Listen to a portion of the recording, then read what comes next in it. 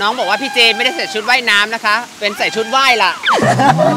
ไม่อยากอย่าเห็นใส่เลย อืมรอตั้งนานใส่ซินยังไม่ได้โยง